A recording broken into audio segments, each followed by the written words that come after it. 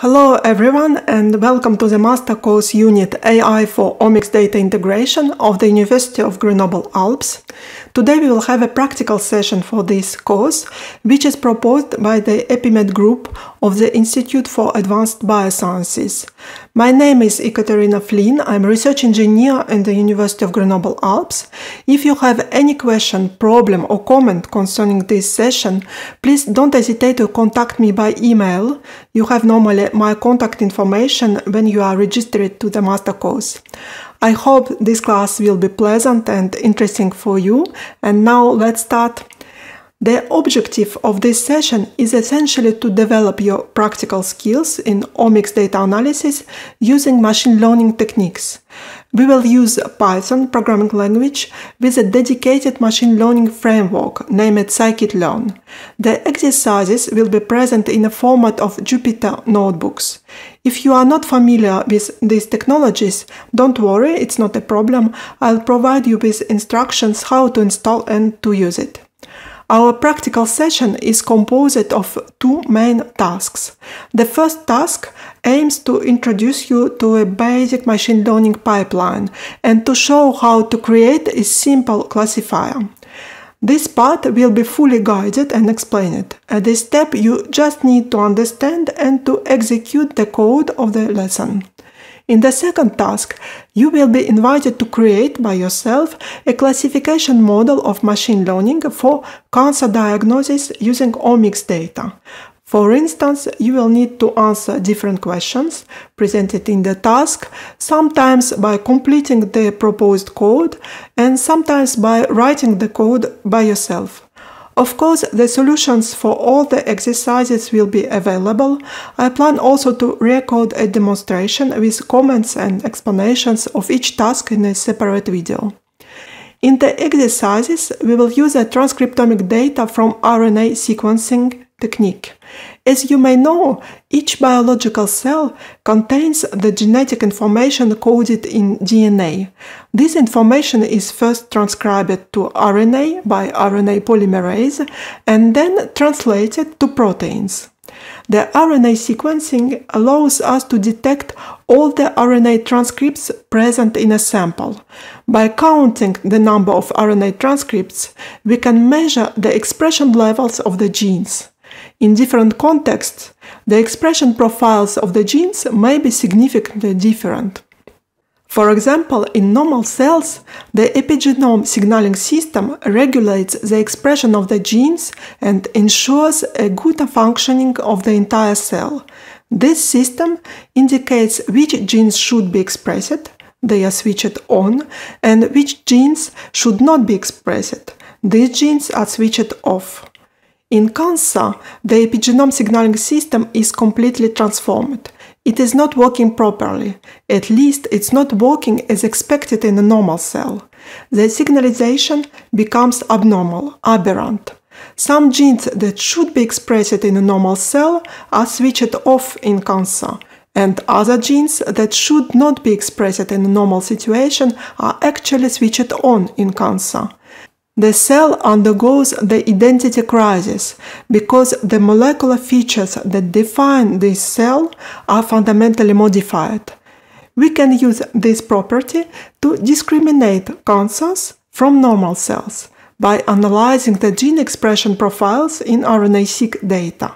The expression patterns will be substantially different between a normal cell and a tumor. We will use RNA-seq data of colon adenocarcinoma. It's the most common type of colon cancer that grows in epithelial cells. Our dataset contains 402 tumor samples and 402 normal samples of colon tissue. For each sample, the expression levels of 60 genes are available. Our goal will be to train a machine learning classification model to recognize colon cancer from RNA-seq data. It means that for a new patient, we can collect a colon sample to measure the expression levels of the 60 genes in the sample, and then we can submit the data to our classification model, which directly provides us with a diagnosis. Is this a colon cancer or a normal colon tissue? The data and code of this session are available on the EpiMed GitHub repository, AI for Omics practical session. The link is displayed on the slide and I'll put it also in the description box. Let's see now the instructions to install the software that we need for this practical session. On the GitHub repository, you will find the session materials, the description of the practical session, and several instructions, for example, for Python installation.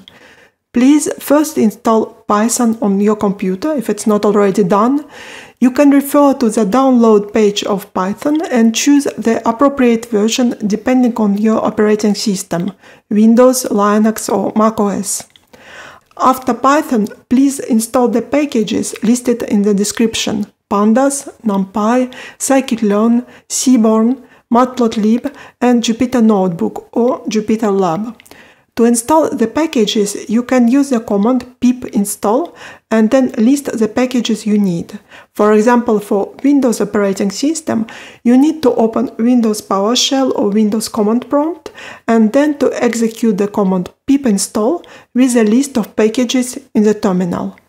If you use already Anaconda or Miniconda, you should use conda command instead of pip. When you installed Python and the packages, please download the session materials from the GitHub repository to your computer. For this, you can click on the green button Code and select Download zip to download it.